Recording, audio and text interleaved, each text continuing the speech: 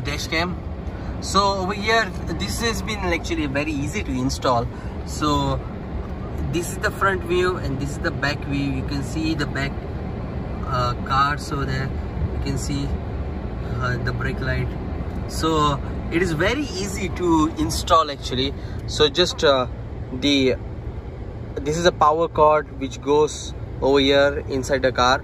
And this wire is for the back camera so it goes right across here. So from this it goes to the back camera. So that is the back camera which you can see over there.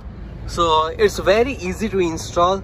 And the clarity about this camera is like you can get 180 1080 uh, p pixel like both front and back camera. Those are really nice. And like uh, you can install a small disk to save all the videos over here. You can also even see uh, the it is recording. It is also having one feature that microphone. I have turned on off the microphone over here. So even the whatever voice you speak everything is been recorded. And then there is different modes over here. This is a different mode. It is written. And this is the menu. And this is very easy to install and it's adjustable as you want to adjust so that way the one plus point is that like it is also giving you the date and the timing.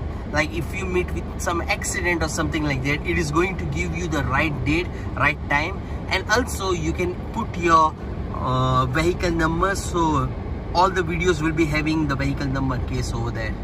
Yeah that's it. It's really good. And yeah. Thank you. Bye bye